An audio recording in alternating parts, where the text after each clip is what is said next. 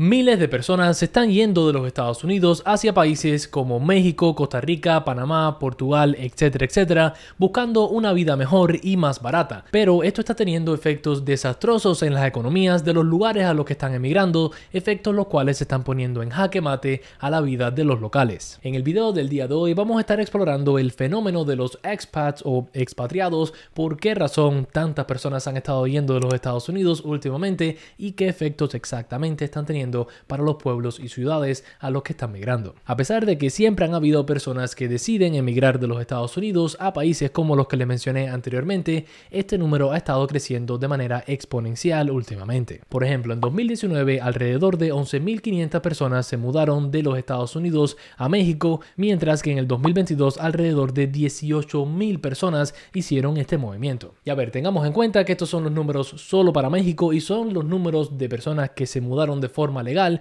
muchas personas están yéndose de vacaciones a México por un tiempo, o a Panamá, o a Costa Rica, o a Portugal, y quedándose ahí de forma ilegal realmente. Esto nos llevaría a preguntarnos por qué estamos viendo este crecimiento tan grande en personas mudándose de los Estados Unidos. Y bueno, realmente la razón número uno ha sido cuánto ha subido el costo de vida acá en los Estados Unidos. No creo que sea sorpresa para nadie que les diga que la inflación ha estado afectando muchísimo la vida de los norteamericanos. No solo estamos viendo como los precios de todo vale más hoy en día de lo que valía hace unos cuantos años, la comida, la gasolina y demás, sino que el costo de la vivienda, que es el costo más grande e importante que tenemos, ha estado subiendo muchísimo también. Por ejemplo, aquí podemos ver que el costo promedio de una casa en el 2019 estaba alrededor de 322 mil dólares. Actualmente podemos ver cómo este precio ha crecido a 436 mil dólares, lo que significa que obviamente el costo de entrada y la hipoteca de estas casas es mucho más alta. Junto con eso, las rentas también han estado subiendo de forma increíble, ya que aquí podemos ver en este gráfico que antes de 2021 la renta promedio en los Estados Unidos estaba alrededor de los 1.500 dólares más o menos y este número ha subido a más de 1.750 dólares. Cuando juntamos el hecho de que la vida se ha hecho exponencialmente más cara que en los Estados Unidos, con el hecho de que después de 2020 muchas personas empezaron a trabajar de forma remota, esto hizo que a muchos se le encendiera la bombilla y decidieran mudarse a lugares con costos más bajos y mantener su salario alto que le estaban pagando trabajando de manera remota. Por eso es que hemos visto muchas noticias y demás acerca de personas que después de 2020 decidieron mantener sus trabajos, por ejemplo, en California, Nueva York y demás, y mudarse a estados mucho más baratos como Nevada, Texas, Florida y demás. Ahora, lo que pasa es que muchas personas han decidido llevar esto un paso más allá e irse completamente de los Estados Unidos, donde el costo de vida es aún más barato que en estos estados baratos, Florida, Texas y demás. Por ejemplo, el salario promedio en los Estados Unidos está alrededor de los 50 a 60 mil dólares al año. Ahora, cuando comparamos esto con el salario promedio en la Ciudad de México, que es alrededor de 334 mil pesos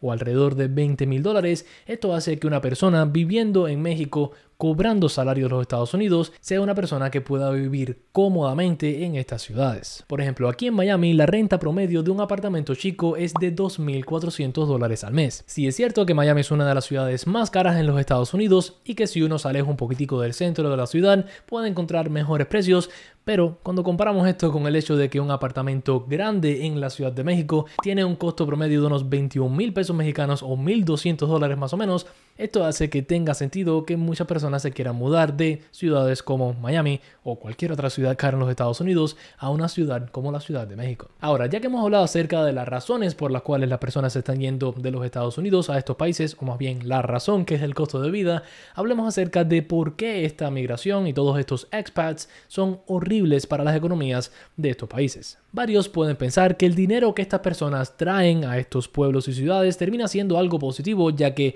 fomenta crecimiento en las mismas, pero realmente esto no es lo que hemos terminado viendo. Estos expats que generan 2, 3, 4, 5, 6 veces el salario promedio de los locales terminan causando que el precio de las rentas y el precio de las casas suba de una manera considerable, lo que significa que los locales ya no pueden pagar las rentas que solían pagar en el pasado. Al final todo en el mundo funciona con oferta y demanda y si ahora hay mucha más demanda por, vamos a decir, apartamentos en la Ciudad de México y hay personas que están dispuestas a pagar un precio más alto, esto va a significar que los precios van a continuar subiendo. Y a ver, tengamos en cuenta que este efecto se está viendo aún más en pueblos más pequeños, ya que obviamente hay menos oferta, o sea que hay menos apartamentos y menos casas, lo que causa una vez más que todos estos locales que vivían cómodamente ahí en el pasado ya no puedan pagar por las casas que solían tener. Junto con el incremento en el precio de la vivienda, el precio de la comida y otros servicios también ha estado creciendo, ya que si hay personas que están dispuestas a pagar, vamos a decir, 8 dólares por un café, ¿por qué razón los negocios van a seguir cobrando los 3 dólares que solían cobrar en el pasado. Esto lo que causa es que las zonas a las cuales los expats se están mudando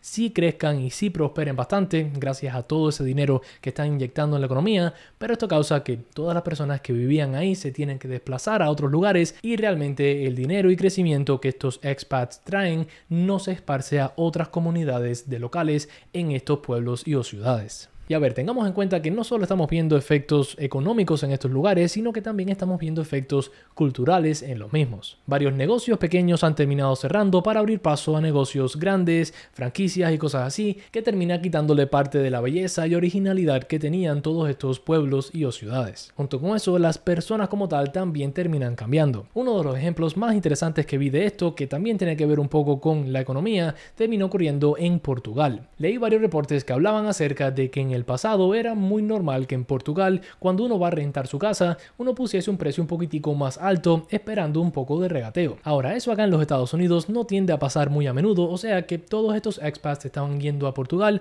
y pagándole lo que estos propietarios estaban pidiendo. Esto ha causado que últimamente muchos propietarios ya no ofrecen ninguna especie de rebaja en sus rentas y el precio que ponen es el que es, lo que significa que es aún más caro porque antes el precio que te enseñaban no era el precio real, era un poquitico más barato y ahora ahora ese precio como tal ha subido y es el precio que es. Como este ejemplo hay muchos más donde los locales han cambiado su forma de ser y de actuar en ciertas situaciones, su forma de vestir y demás debido a los expats. Ahora, ya que hemos hablado acerca de todo esto, hablemos acerca de lo más interesante que nos espera en el futuro. Y bueno, aquí podemos ver un gráfico que nos muestra la cantidad de veces que se ha buscado por el internet las palabras mudarse a México y podemos ver que desde junio del año pasado para acá más o menos hemos visto una caída significativa en estas búsquedas. La razón por esto es bastante simple y es que de 2022 para acá muchas compañías han comenzado a pedir que los trabajadores regresen a las oficinas o al menos regresen a los Estados Unidos si no van a ser despedidos, lo que ha causado que muchas personas decidan quedarse o inclusive mudarse para atrás. Junto con esto, debido a que la economía en los Estados Unidos está mucho más débil ahora de lo que solía estar en el 2021 con todos los estímulos y demás,